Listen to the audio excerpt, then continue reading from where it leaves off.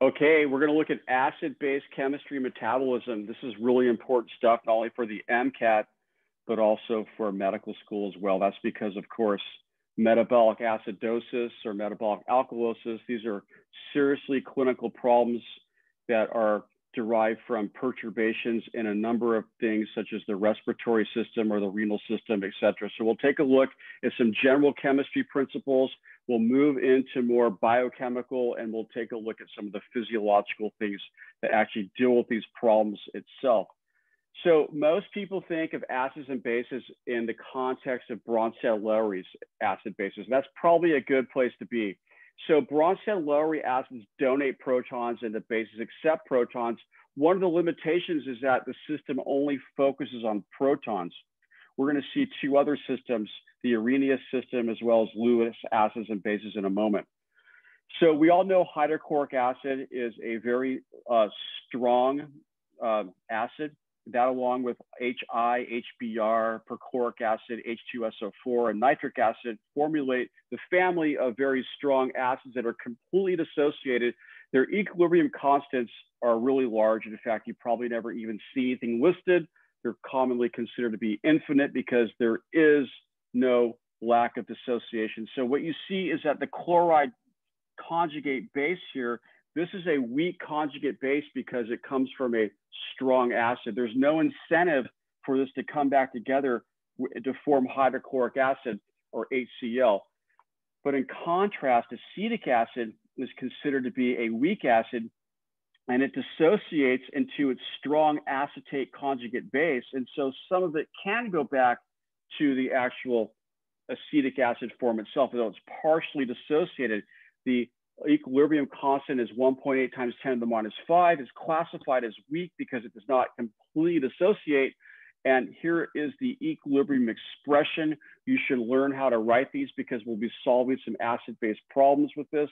And the pKa of acetic acid or the negative log of the equilibrium Ka constant is 4.75. It's probably one you should commit to memory. So here's a problem that uses conjugate bases, their strengths in the context of leaving groups. And so what we see here is a family of alkyl halides here. There's one with a, there's an iodine, chloride, bromide, fluoride. We react them in the presence of a strong base as well as uh, a ketone here. This is actually dimethyl ketone, commonly known as acetone. And notice how we get alcohol products that are all the same. And so the question becomes, well, what's the relative rate of product formation? Is it the same for each one? Is there a difference? And if there is a difference, how do you figure it out? So what you should appreciate is that this is an SN2 type of reaction. It's done in a polar aprotic solvent. And you should think of protic solvents as hydrogen bond donors, that is water and ethanol, but an aprotic solvent like acetone cannot be a hydrogen bond donor. It could be an acceptor, but it's a polar aprotic solvent, which is ideal conditions for SN2. These secondary carbons here are attacked by the strong base, which serves a nucleophile, and you kick out the leaving group to form the alcohol. Notice that the product is inverted configuration. We go from a wedge to a hatched line here. Okay, fine. So what we should recognize is that in the order of strength of halogenated acids, we say HI, HBr, HCl, HF. Definitely memorize that. HF is actually not a strong acid. It's the weakest of all the halogen acids. And so what we know that if we have a strong acid, we must have a weak conjugate base. So the weakest conjugate base will be iodide and then bromide here. And since weak bases weakly share their electrons, what that means is that they're easier to displace by the actual nucleophile, which is the OH. So basically, what you should keep in mind is that the weakest conjugate base is always the best leaving group. Okay, that's a very important concept to know. So we can also apply some of these concepts about leaving groups in the context of proteolysis here. And so what we see is a peptide bond is Here's the carbonyl with the nitrogen here. So we have an amide, a peptide bond here, being hydrolyzed by water in some hypothetical peptidase. And so water as a nucleophile can be made stronger by pulling off this proton here and generating OH minus because hydroxide is a stronger base, a stronger nucleophile than water. The way this is done is by having lysine here pull this proton off. And so what lysine does, it accepts a proton, so it must be acting as a base. And as a consequence, when it does that, we generate a more, a better nucleophile. Notice how the serine here has actually hydrogen bonded with the carbonyl. We've given it a partial positive charge, which actually causes a, oxygen to pull more electrons towards itself. So by performing this reaction where you have the base pulling off the proton from water and having this hydrogen bonding event, you're actually facilitating the rate of the reaction. So we form our tetrahedral intermediate, it collapses, and in order to cleave the peptide bond, we have to have this, nit this CN bond broken. So we're gonna have this nitrogen leaving group here. And so if you compare NH versus NH2, that is NH2 where it has the actual hydrogen that's still stuck to the nitrogen via the lysine hydrogen bond, what you can do is compare RNH minus versus RNH2 as a leaving group. And of course, RNH2 is a weaker base. And so what you see is that that leaves and you form an amine and you have a carboxylic acid. And so of course you appreciate that the hydrolysis of an amide gives you a carboxylic acid and an amine. So the strength of leaving groups is seen in the catalysis. So you're going to see a lot of acid-based problems. You've probably solved these in GChem before, and the MCAT's notorious for these as well. And, and the simplest starter question is, what is the pH of a 0.2 molar solution of a weak acid, given its actual uh, equilibrium constant, Ka is 1.8 times 10 to the minus 4. You see the answer choices are 1.3, 2.2, 3.4, and 4.1. And so how do you figure that out? So we know it's a weak acid. It will not completely dissociate at equilibrium. So what you do is you set up an ice table. And the ice table has the initial, the change, and the equilibrium or the final values for everything in solution using this generic acid dissociation equation here. And so I set up the table for initial change and final or equilibrium. And what you notice is that the HA is 0.2 molar as given. The H plus we call 10 to the minus 7, but many tables we're going to call that zero. I wanted to point this out to you that 10, it's actually a real number. But since 10 to the minus 7, which is the auto ionization for water, is so much smaller than 10 to the minus 4, it's almost a thousandfold smaller, basically, it's considered to be negligible.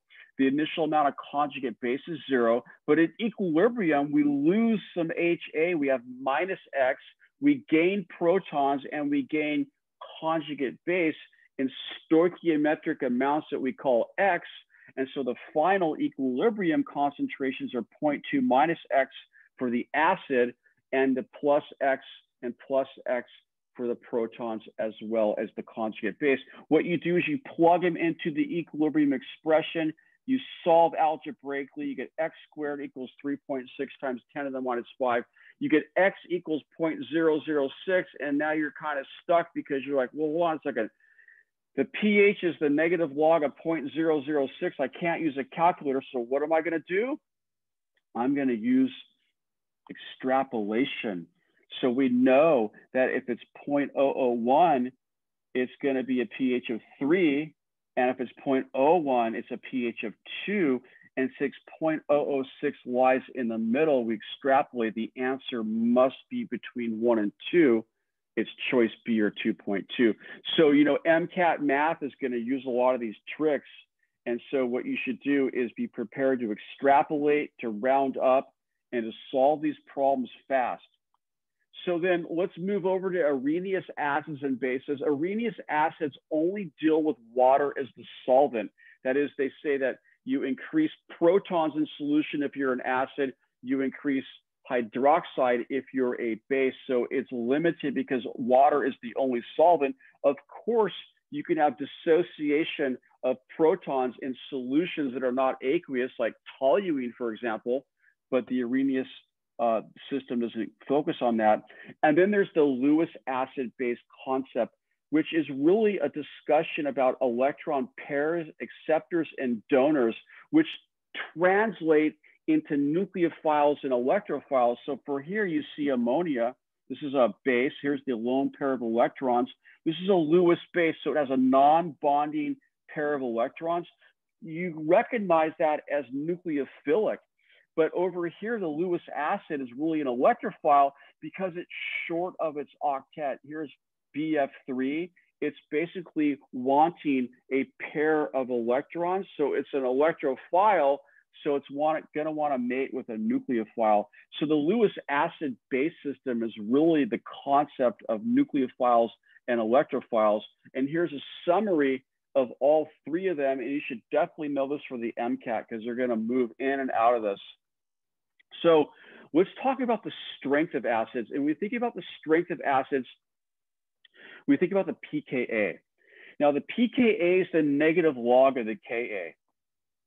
So if hydrochloric acid's Ka is super duper large, its pKa will be very, very small.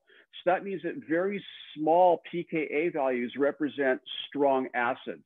We know that the pKa plus the pKb is 14.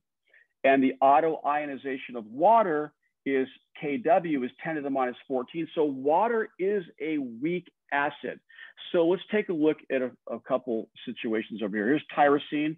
Here's an aromatic alcohol, serine, an aliphatic alcohol, aspartic acid, a typical carboxylic acid. And here we have the imidazole side chain of histidine can be protonated and deprotonated. So there's an acid and a conjugate base as well. So the strength of acids, when you think about pKa values, think about this. So tyrosine has a pKa of 10. It's an aromatic alcohol, but the aliphatic alcohol serine has a pKa of 14. So the reason why tyrosine, this is a stronger acid, is because we dissociate this proton, these electrons can be resonance stabilized, whereas the aliphatic serine doesn't have the luxury of aromaticity. Aspartic acid has a pKa of three. That's a typical value for a carboxylic acid. You may see some tables have pKa values of two, and then you should ask, well, why is that? And the answer is because the pKa values can change as a function of the environment that you're in, which could be due to ionic strength and the dielectric constant. You should know the generic general numbers for aspartic acid is two to three range, as opposed to memorizing its two or three itself. Histidine is unique because its pKa value for the imidazole side chain is actually the closest there is to physiological pH. And so what you'll see commonly on the MCAT is manipulations of the Henderson-Hasselbalch equation. It's written several ways. One way it's written is the pH equals pKa plus the log of the conjugate base over the acid. Now, here we have a question of what is the fraction of histidine residues that are positively charged at pH 7.4? There's a, we can solve it with the formula, which we'll see in a minute. But when you see this question, you should immediately think of a couple things so you know what type of answer to expect. And the idea here is that if the pH is 7.4 and the pKa is 6.4, that's one unit. Given the fact it's a log scale, that means they're going to be 10 times the value.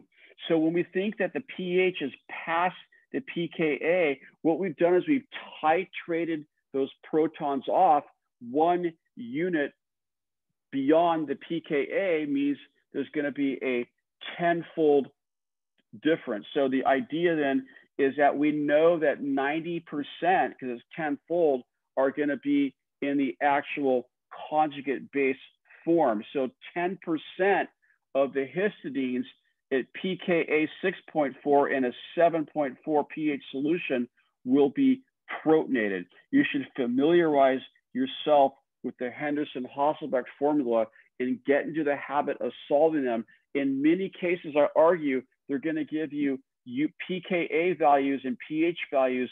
They're going to be easily manipulable. In this case, I showed you a difference of one, but you can get two as well.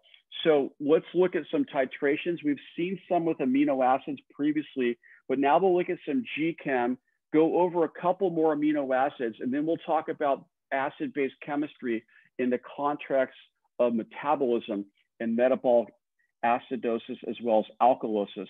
So when we titrate a strong acid and a strong base, like we take HCl and we add NaOH to it, at the equivalence point, when the number of moles of acid equals the number of moles of base, what we have in this case is a neutral salt.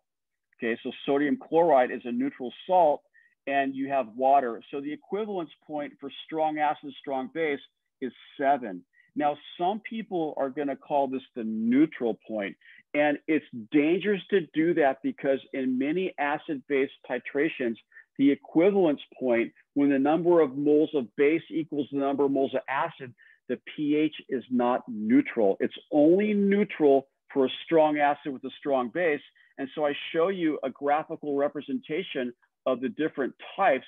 Notice here the titration is with volume of acid added where the previous one was with base. So here we start out at a high pH, strong base is titrated with a strong acid. Our equivalence point as expected is pH 7, but when you titrate a weak base and a weak acid, your equivalence point is actually below 7. So that's why you don't want to call that a neutral point. It's not a good idea because it's misleading. Strong base, weak acid gives you an equivalence point above 7, and a weak base and a strong acid gives you equivalence point that's acidic. So you should definitely get into the habit of understanding what the actual pH at the equivalence point will be, where the equivalence is defined is when the moles of acid equals the moles of base. So here's a titration here. Uh, we have a compound titrated as shown, and we want to know what the Ka value of the compound is.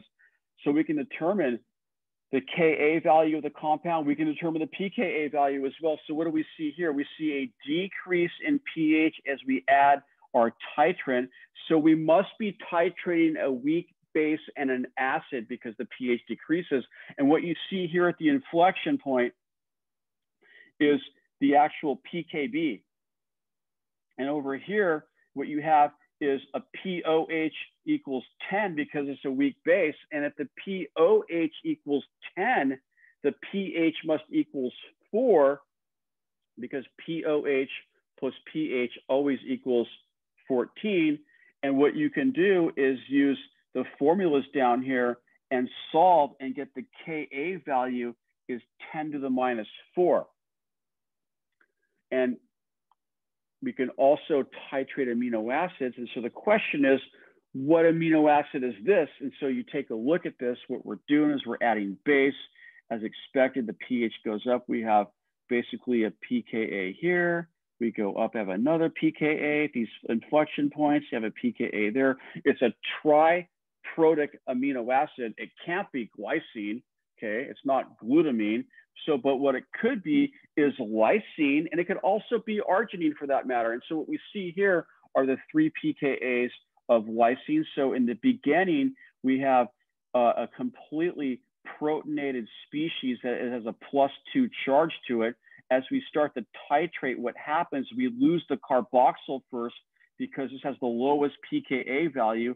And then as we move up, we lose the alpha amino group over here. And as we keep titrating with base, we end up losing the proton that is with the epsilon amino side chain of lysine there. And so this raises the concept of the isoelectric point. I remember we did this with amino acids, but it never hurts to go over many times. So here I've taken the glycine amino acid here. It's the only um, basically there's this is not a chiral carbon, so it's achiral. These are two hydrogens. You can't see them there, but they're implied. And so at a really low pH, everything's protonated. That means everything being the amino as well as the carboxyl. So it has basically a cationic character to it. But as we add base to it, we end up titrating off this pro carboxyl proton completely, and we're at the Zwitter ionic state, which is the isoelectric point. is the point where there's no charge in the molecule, it's neutral.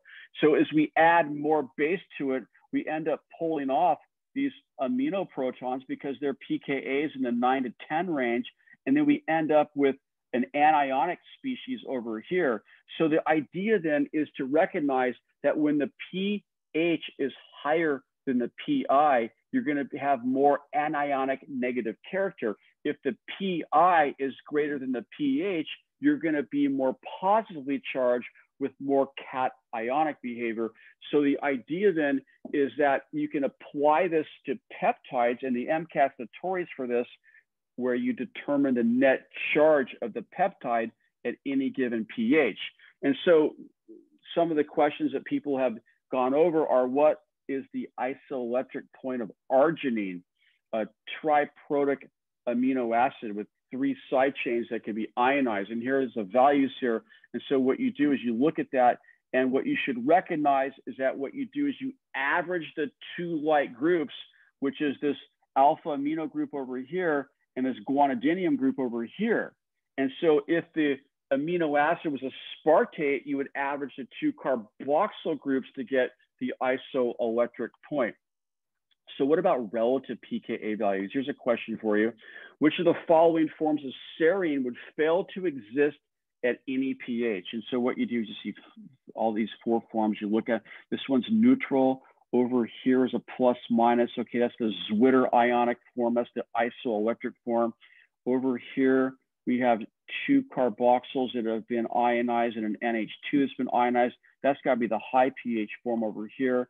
And over here is an acidic form where everything has its proton, it's positively charged. But when you look at it, there's one of them that doesn't make any sense. And of course, it's going to be A, because in this case, what has happened with A is you've lost the amino proton, which has a higher pKa before you lose the carboxyl proton, which has a pKa of two. You would never have this form exist in solution, despite the fact you see people sloppily represent that in books as well as other things. So think about that. So let's take a look at buffering systems in the body for pH. The most important one is carbonic acid buffering system.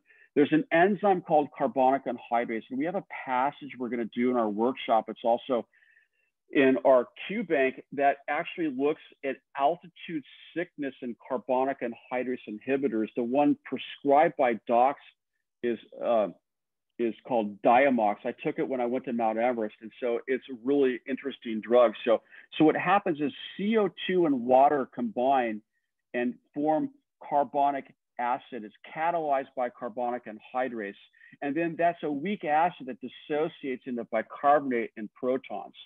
So then what we can see from this equation is that the more CO2 that we have, we can push this equilibrium to the right by Le Chatelier's principle. We can ultimately generate protons. And what you should recognize is that carbon dioxide is acidic, okay? So let's take a look at what happens in the body. So we have uh, actively metabolizing tissue, could be your skeletal muscle running that marathon, and glucose is being oxidized to acetyl CoA and hopefully you're going to be aerobic when this happens. And if that's the case, what you can do is completely oxidize carbon through the mitochondrial TCA cycle into CO2. And CO2, yes, it's soluble in the blood by Henry's law, but it diffuses also. And as it diffuses, it goes into the red blood cell that's carrying oxygenated hemoglobin, and that CO2 is going to be converted into carbonic acid through the red blood cells carbonic anhydrase enzyme. And then that when that dissociates as proton, what happens is that the acidic environment, it can bind to he, oxygen and hemoglobin, which releases oxygen in the presence of protons. That's called the good old fashioned Bohr shift. And so what you see is that we can actually take away the CO2 that's acidic and buffer it with releasing oxygen.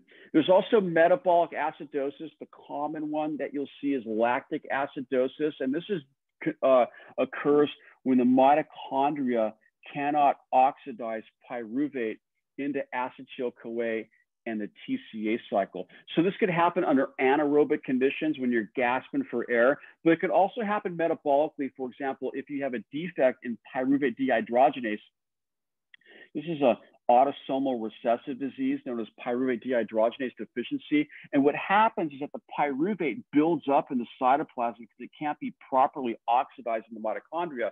And since pyruvate can be reduced to lactate, what happens is that the NADH that's formed in glycolysis will actually get oxidized to NAD where it recirculates back to perform another round of glycolytic oxidation of glyceraldehyde 3 phosphate. Remember that glycolysis performs substrate level phosphorylation, although not shown here, you can make ATPs. So you're still making a few ATPs, but you can't oxidize your carbon completely. You're anaerobic and you build up lactic acid.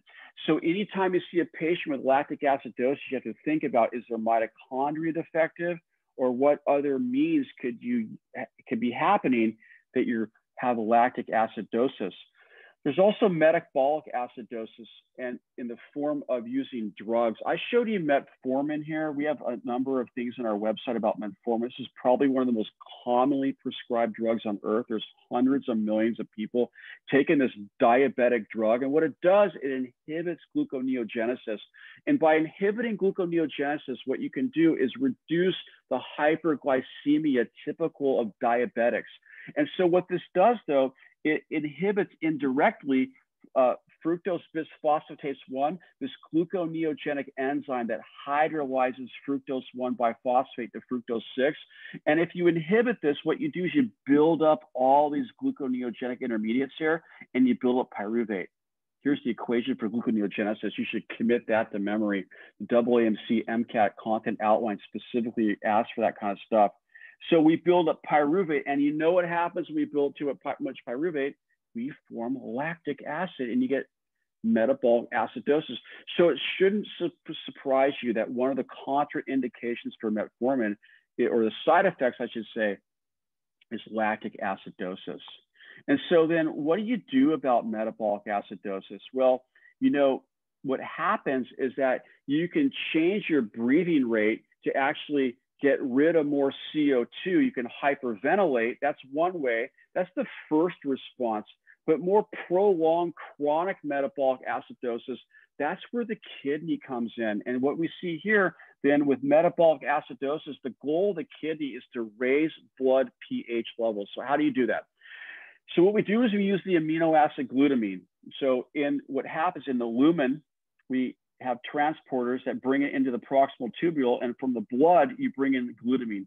So glutamine is a nitrogen carrier. Yes, it's an amino acid that goes into proteins, but you should also appreciate it as a nitrogen carrier. And here it has two amino nitrogen groups. So we're gonna link nitrogen to blood pH levels. And so then you bring it in by transporters, and the kidney, as well as other tissues, have an enzyme called glutaminase, which actually cuts off an ammonia here. Ammonium, I should say, ammonium is actually a weak acid. So we made an acid. And then what happens then is you make glutamate. So glutamine has two nitrogens, glutamate has one. And so glutamate dehydrogenase will strip off the second one. You make ammonia and bicarbonate. And what you can see happen very, very cleverly, what the kidney does it has bicarbonate symporters, which takes the bicarbonate to the blood, which does what? Raises the pH, perfect for metabolic acidosis. But over here, it has an antiporter that kicks out the ammonium ion into the lumen, which we know will go into the urine. And so we see how pH is linked to nitrogen balance here. And we're going to show you a really cool passage that has uh, these enzymes used to solve your acid-base chemical needs. So let's take a further look at nitrogen balance and pH over here. What we see is that we have the amino acid serine converted into its cognate alpha keto acid derivative. And what happens is that these transaminase enzymes, these vitamin B6 dependent enzymes, actually are very important in nitrogen and pH balance. What they do is they swap the nitrogen group off the amino acid, put it onto alpha ketoglutarate to make glutamate and they make their cognate alpha keto acid. So the amino group that was once on serine is now on the nitrogen carrier glutamate. And what you can do is take that glutamate nitrogen and kick off ammonium in the mitochondria. But ammonium's toxic. You don't want free ammonium around too long. So what you do is you rapidly convert it into carbamyl phosphate using ATP and CO2, and you make this high energy phosphoanhydride that's carrying a nitrogen. So notice that the nitrogen that was once on serine is now on carbamyl phosphate. And in order to get rid of it, what we do, we put it into the urea cycle here. I don't want to sweat the details too much, but what we end up doing is we make urea, which has two nitrogens, where one came from the serine from carbamyl phosphate, the other one comes from aspartic acid. Notice it takes a lot of energy to make urea, and also notice that arginine, the amino acid, is made in the urea cycle. So arginine is not an essential amino acid. Doctors commonly measure BUN or blood urea nitrogen, and that could be in, indicative of a unhealthy liver because urea cycle only occurs in the liver, but BUN is also used to measure renal function as well. So basically, you can have ornithine transcarbamylase deficiency. This is a, an uh, this is a sex-linked, it's an X-linked recessive, basically, and it's it's the most common inborn error metabolism in the urea cycle. And what you see here is when you can't put in carbamyl phosphate, what happens is that it builds up and you can hydrolyze this and you have all this nitrogen, this ammonium building up. Now, ammonium, true, it's a weak acid, but what happens is that ammonium is actually a neurotoxin and it stimulates the brain to hyperventilate because what you want to do is you want to breathe more, you want to exhale more to get rid of this acid so that you can raise your pH. And so that's where the lungs will come in.